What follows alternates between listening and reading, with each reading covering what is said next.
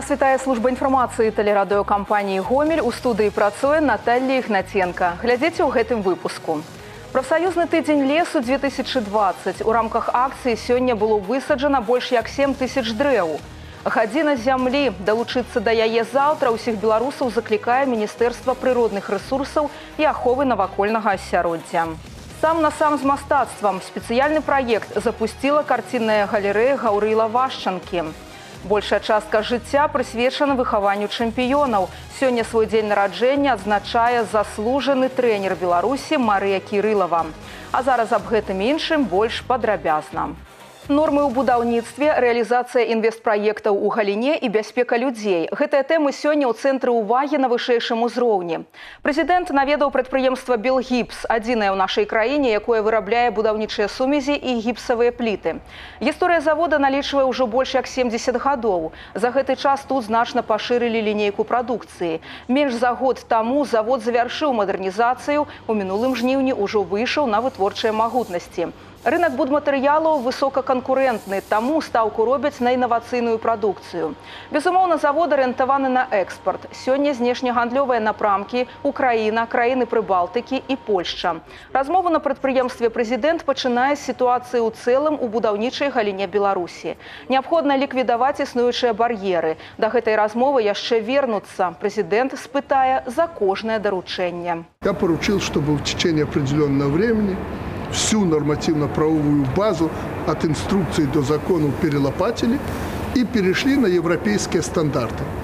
Слушайте, ну европейцы не дураки, строят легко, просто вот, пожалуйста, навес. Ну, наверное, европейский стандарт. Все очень просто. Нет. У нас вместо легких конструкций балки, фермы, железобетон, э, закрыть, перекрыть. И все это было занормировано. Все это было в законах. Пустотой занимались, тратили огромные деньги. Была поставлена задача, наверное, лет 10-12 назад, э, пересмотреть все законодательство и перейти на лучшие мировые стандарты, чтобы проще было застройщикам, чтобы проще было арендаторам, арендодателям и строителям в том числе. Не дай бог, министерство и Кухаров не смогут нам ответить хоть на один вопрос в плане устранения всяких барьеров, препятствий э, в строительной отрасли. Много сделано, я не спорю. Но жалуются, что еще есть э, ненужные проблемы, которые мы искусственно создаем. Надо раскрепостить людей там, где нужно, где грозит угроза жизни человеку, где дети там и прочее, жилье, да, безопасно. Там надо строить и контролировать. Э, везде это должно, но излишеств быть не должно Александр Лукашенко азнаёміўся з асаблівасцямі вытворчасці будаўнічых матэрыялаў з гіпсу, а таксама пацікавіўся бліжэйшымі планамі прадпрыемства. Так Белгіпс плануе з красавіка арандаваць кардонную фабрыку ў пухавічах і на яе магутнасцях арганізаваць перапрацоўку тэтрапака, які стане асновай для адноўленай цэлюлозы. Яе будуць пастаўляць на беларускія прадпрыемствы. Запуск вытворчасці намечаны на другое паўгоддзе. Прэзідэнт ініцыятыву ацаніў. У цэлым працай і план Планамі прадпрыемства Александр Лукашенко застаўся задаволены. Белгіпс працуе не толькі на сённяшні дзень, але і думае пра перспектывы нашага заўтра. Сваімі ўражаннямі кіраўнік дзяржавы падзяліўся з супрацоўнікамі прадпрыемства, а таксама адказаў на іх пытанні, якія хвалююць грамадства. Дарогі будаўніцтва надыходзячае святкаванне вялікай перамогі. Асобна Александр Лукашенко яшчэ раз спыніўся на сітуацыі з каранавірусам, яго ўплыве на эканоміку. Вы не думайте, что мы не обратили внимания на то, что происходит. Нет, мы этим занимаемся, но только без шума и пыли. Каждый должен заниматься своим делом. Но главная проблема сегодня, уже это поговаривают и в России, и в других, коронавирус закончится. Психоз этот закончится. Месяц-два, а экономика рухнула в мире, а предприятия не работают – это и на нас повлияло. Вот я спрашиваю, вы свою продукцию продаете сейчас? Слава Богу, продаете. А если бы вы стояли, не продавали? Деньги откуда? Никто вам с воздуха... Нет, можно. Я завтра дам команду, напечатаем деньги, белорусские рубли вам раздадим. Но вы готовы к тому, что через месяц-полтора цены в два раза повысятся в магазинах? Не готовы. Нам и так с Россией вот этот рубль, а это наш основной партнер, и в других странах э, начинает рубль колебаться, и вы начинаете вместе с ним колебаться. Нам хватает не только завезенного коронавируса, но и экономических проблем нам достаточно. Нам их подкинут извне. Так зачем нам усугублять внутри страны и создавать лишние проблемы? Поэтому я не закрывал ни одно предприятие. И наоборот, если собственник, вот ваш собственник стоит, не дай бог бы принял это решение, мы бы с ним начали спокойно сначала разбираться, почему закрыл предприятие. И как ты людей будешь кормить? Ты взялся, ты отвечаешь за это. Работай корми людей. Это к частному предприятию. А с государственным вообще разговор короткий. Нужно работать І ў працяг гэтай злабадзённай тэмы. Верагодна, зараз няма ніводнага дарослага чалавека, якога б не клапаціла тэма каранавіруса. У магазинах, на вуліцах, у гутарках з сябрамі і блізкімі яна ўсё роўна адна з галоўных. Чуткі змешваюцца з фактамі і зразумець, дзе праўда, а дзе вымысел бывае складана. Наш калега Александр Гавейка пагутарыў з намеснікам галоўнага дзяржаўнага санітарнага ўрача гомельскай вобласці Расціславам Зіновічам. Корэспандэнт задаў спецыялісту пытанні, якія больш за ўсё турбавалі жыхароў нашага рэгіёна ў апошні тыдзень. Сярод іх, напрыклад, сітуацыя з выпадкам у жыткавічах. Нагадаем, у жанчыны знайшлі каранавірусную інфекцыю, а наступныя абследаванні выники першопочатковых обвергли. Мероприятия начинают проводиться при регистрации вероятного случая. Вероятный случай э, – это если есть показания, значит, медики начинают работать, но для того, чтобы окончательно определить, есть ли там РНК э, вируса, значит, необходимы подтверждающие тесты. На это нужно время. Ну и система тестирования, она многоступенчатая. Сначала самый простой, что-то вроде экспресс-теста, потом более реальный к жизни, но э, требующий большего времени. Все верно? Да, верно. И э, для того, чтобы получить объективную э, информацию, тестирование проводится на различных тест-системах. То есть если на одной этой системе получилось подтверждение или там какой-то сомнительный результат, значит, идет подтверждение дальше. Ну, в этом данном случае, значит, подтверждение проходило некоторое время, но на сегодняшний день я уже сказал, что мы работаем в режиме повышенной готовности, и э, проведение мероприятия начинается при подозрении и регистрации вероятно, подчеркиваю, вероятного случая. Поэтому в данной ситуации были проведены мероприятия, Значит, э, э, вероятный случай пациент был э, госпитализирован, были выявлены ближайшие контакты, значит, за ними установлено медицинское наблюдение, они были также обследованы. Значит, но после подтверждения уже на других тест-системах о том, что данные РНК вируса не обнаружено, соответственно, диагноз был отменен. Падрабязнасці ў вялікім інтэрв'ю з расціславам зіновічам у навінах тыдня глядзіце праграму ў нядзелю на тэлеканале Беларусь 4 гомель. У рамках мерапрыемстваў прымеркаваных да года малой радзімы і 75годдзя перамогі ў вялікай айчыннай вайне абласное аб'яднанне прафсаюзаў праводзіць акцыю прафсаюзны тыдзень лесу 2020. Толькі за сённяшні дзень на тэрыторыі гомельскага вопытнага лясгаса пасаджана больш як сем з паловай тысяч дрэў. Разам з актывам грамадскай арганізацыі ў лес выехалі і нашы карэспандэнты. Удзел у грамадска-карысных акцыях для прафсаюзаў гомельскай вобласці ўжо традыцыя. Сярод апошняга пералічэнне амаль 100 тысяч рублёў на будаўніцтва мемарыялу ў вёсцы Ала светлагорскага раёна. Што тычыцца пасадкі лесу, то ў гэтай акцыі прафсаюзы прымаюць удзел пастаянна. Толькі на працягу аднаго дня запланавана пасадзіць больш як сем з паловай тысяч дрэў. Гэта сімвалічная лічба 7500 раслін да 75годдзя перамогі. Хоць справа не только ў колькасці. Акция всеобщая. Ну и профсоюзы, так же как и часть общества, не можем оставаться в стороне. В любом случае мы участвуем. И посадка деревьев, я считаю, ну для каждого человека это благое дело. Дерево вырастет, будет память.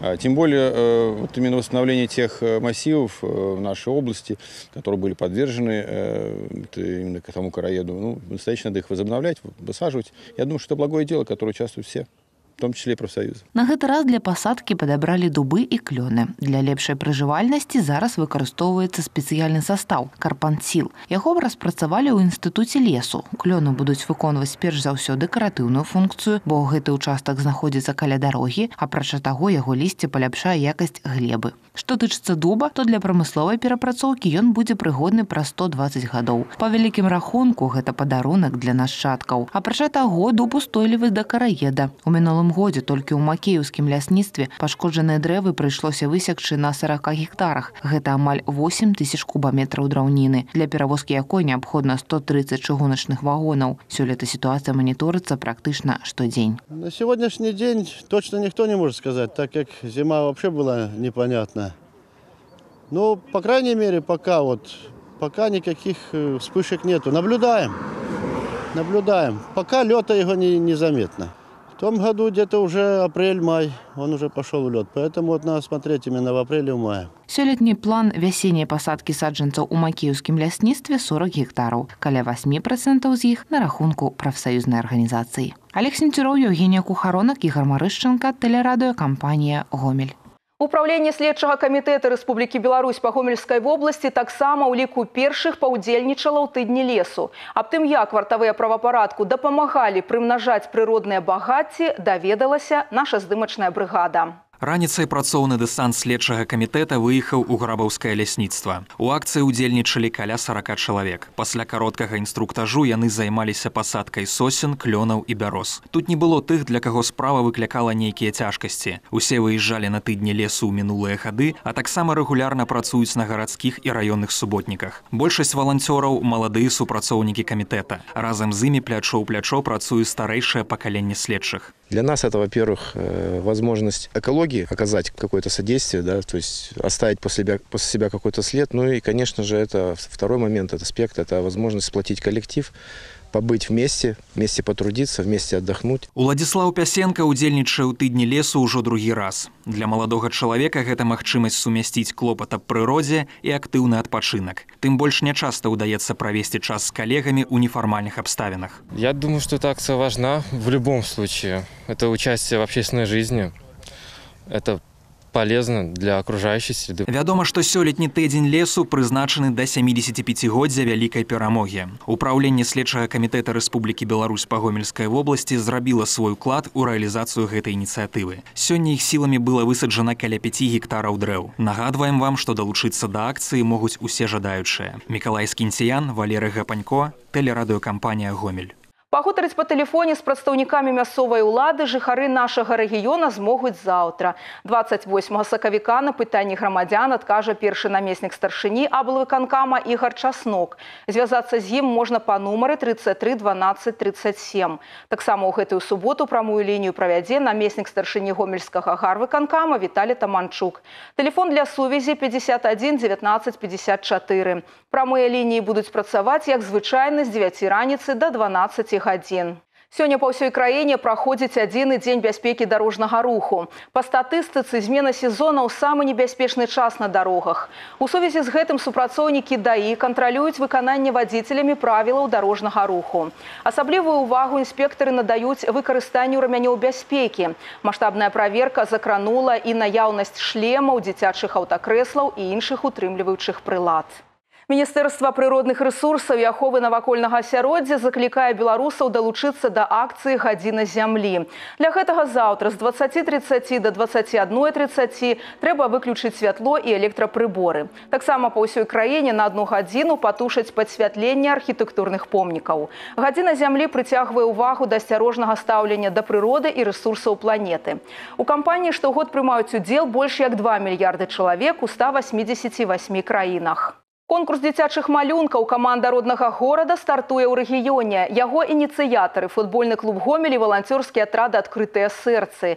Работы будуць прымацца да 8 красавіка па месцы вучобы ва ўсіх школах горада. Будуць вызначаны 11 пераможцаў. Футбалісты гомеля асабіста іх паміншуюць і ўручаць памятныя падарункі. Сам насам з мастацтвам спецыяльны праект запусціла карцінная галерэя Гаўрыла Вашчанкі. Новы фармат прадугледжвае поўнае пагружэнне наведвальнікаў у творчую атмасферу. Жадаючыя змогуць забраніраваць асабіста для сябе і сваёй сям'і час наведвання выстаў на пэўную гадзіну. Каб апынуцца сам насам з мастацтвам, трэба за дзень да наведвання забраніраваць свой час у галерэі па вуліцы Карповіча 4 ці ў зале на праспекце Леніна 43. Арганізатары нагадалі, што цяпер у галерэі па вуліцы Карповіча Растаповіча можна ўбачыць літаграфіі работ аднаго з самых вядомых мастакоў французскай школы у экспазіцыі Анры Маціс погляд, а таксама даступная руская Атлантыда, справаздачная выстава праекта, які аб'яднаў мастакоў удзельнікаў штогадовых вясенніх і восеньскіх пленэраў у гарадах малога залатога кальца рассіі. У выставачнай зале па праспекце Леніна прадстаўлены незвычайныя экспанаты, калекцыйныя лялькі вядомых вытворцаў больш, чым цацка. Сёння свой дзень нараджэння азначае заслужаны трэнер Беларусі Марыя Кірылава. 54 гады з сваіх 75 яна прысвяціла падрыхтоўцы плыўцоў. Павіншаваць юбілярку ў абласное ўпраўленне спорту і турызму прыйшлі вучні і калегі. Марыя Алексеевна адзначае, што атрымліваць віншаванні сёння пачала з чатырох гадзін раніцы. Шмат сяброў і былых выхаванцаў жывуць за мяжой. Слоў падзякі, віншаванняў і самых найлепшых пажаданняў шмат. У ліку выхаванцаў Марыі Кірылавай удзельнікі алімпійскіх гульняў, пераможцы рэспубліканскіх спаборніцтваў, рэкардсмены СССР і Беларусі. У Марыі Алексеяўны спартыўная сям'я. Амаль усю сваю трэнерскую кар'еру працавала разам са сваім мужам, які некалькі гадоў таму пайшоў жыцця. Па слядах бацькоў пайшлі тры дачкі. Усе зараз калегі, таксама трэнеры. Плаваннем займаюцца і чацвёра з пяці ўнукаў. Працуе Марыя Алексеевна ў вучылішчы алімпійскага рэзерву. Трэнерскую дзейнасць лічыць сваім прызваннем. Любімая праца дапамагае заставацца бадзёрай і актыўнай. Все-таки, наверное, это дается с характером, дается, наверное, как это, назначение в жизни, я не знаю. Но я всю жизнь, хотя я по натуре строгая. Я, короче, знаете, такая пряник и кнут. Наказала, я сразу отхожу. Может быть, вот это вот у меня и, в общем-то, по жизни мне дает. Гэтыя таксама іншыя навіны, інфармацыю аб праектах тэлерадыёкампаніі Гомель вы можете знайсці на нашым сайце ў інтэрнэце па адрасе трайное даблы кропка цівяргомел кропка бівай. На гэтым выпуск завершаны усяго вам добрага і да новых сустрэч у эфіры. Эфир телеканала «Беларусь-4» продолжает де-факто в студии Александр Гамоля. Здравствуйте. В Гомеле на Реческом проспекте сегодня ночью разбился БМВ. Водитель выехал за пределы проезжей части, потом на тротуар и ударился о дерево. Чтобы извлечь из салона автомобилиста, понадобилась помощь спасателей. Они оперативно прибыли на место происшествия. В ГАИ выясняют причины и обстоятельства аварии. Сообщается, что у водителя имелись признаки алкогольного опьянения. Он не пострадал. ГАИ установила личность водителя, который мчался по автодороге «Восточный обход» со скоростью 140 км в час. Это гомельчанин, не имеющий права управления, учащийся одного из лицеев областного центра. Вот это видео, которое выложил юный любитель экстремальных заездов в социальные сети. Один из пользователей увидел его в интернете и сообщил в ГАИ. Там провели проверку, установили личность нарушителя и привлекли его к административной ответственности. Установлено, что транспортное средство, которым управлял этот молодой человек, э, является арендом, так называемым каршеринговым. Соответственно, э, хотелось бы обратиться ко всем нашим взрослым, э, родителям, э, следите за своими детьми, и то, что они, им достигло, они, они достигли 18-летнего возраста, все равно нужно проявлять какую-то заботу и внимательность.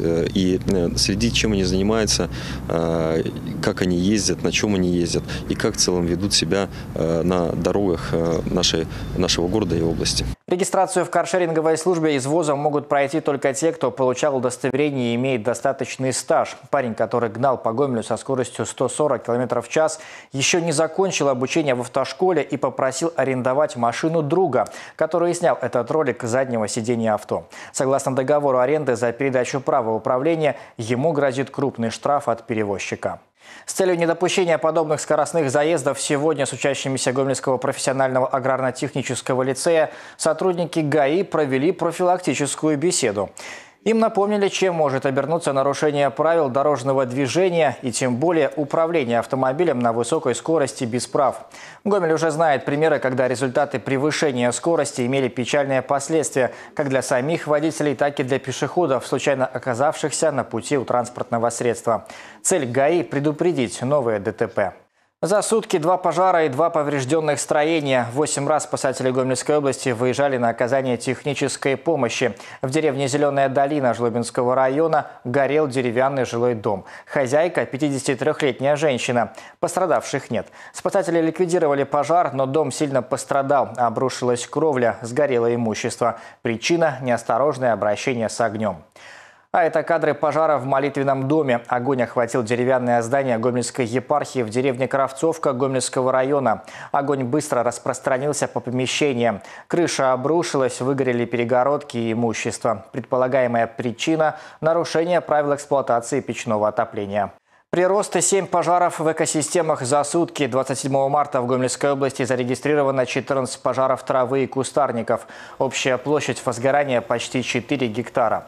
Пожары имели место в Брагинском, Житковическом, Жлобинском, Наравлянском, Калинковическом, Петриковском и Хоникском районах. На территории Реческого произошло возгорание торфяника. В Лическом и Житковическом районах зафиксированы три лесных пожара.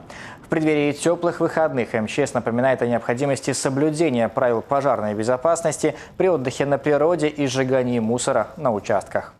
Это все новости на сегодня. Оставайтесь с нами и берегите себя. Я Александр Гамоля. Благодарю за внимание. До свидания. На телеканале «Беларусь-4» Гомель. Новости спорта. В студии Максим Савин. Здравствуйте. Сегодня двумя поединками в Жодино и Бресте стартовал второй тур чемпионата Беларуси по футболу высшей лиги. Единственный представитель нашего региона в элите Мозырская Славия свой матч проведет завтра. Полишуки ждут в гости Борисовский Батэ. Игра пройдет на поле стадиона «Юность» в Мозыре. Начало в 15.00. Напомню, что на старте чемпионата неделю назад Славия уступила Слуцку 1-3. Представители первой лиги футбольного чемпионата продолжают подготовку к стартующему в апреле сезону. Футбольный клуб «Гомель» в субботу в Минске проведет спарринг с представителем второй лиги командой Ивацевичи. Гомельский «Локомотив» на поле стадиона «Сдюшор» номер 8 в нашем областном центре встретится с Рогачевским «Днепром», также представляющим вторую лигу. Начало в 14.00. Завтра состоятся поединки 21-го тура чемпионата Беларуси по мини-футболу. Пройдут они вновь при пустых трибунах. В областном дерби на паркете спорткомплекса «Локомотив» в Гомеле сойдутся БЧ и Светлогорский ЦКК. Железнодорожники сейчас располагаются на второй позиции, ЦКК на девятой. Старт поединка в 14.00. Параллельно в столице начнется матч между Минском и Гомельским ВРЗ. Минчане на восьмом месте в турнирной таблице ВРЗ на четвертом. Очередные поединки пройдут и в мужском гандбольном чемпионате. Гомель завтра сыграет с Гродненским Крононом. Матч пройдет во Дворце игровых видов спорта. Начало в 19.00. Болельщиков просят воздержаться от похода на поединок и посмотреть матч в прямой трансляции на сайте Белорусской Федерации гандбола. На этом пока все. С новостями спорта вас знакомил Максим Савин. Оставайтесь на Беларусь 4.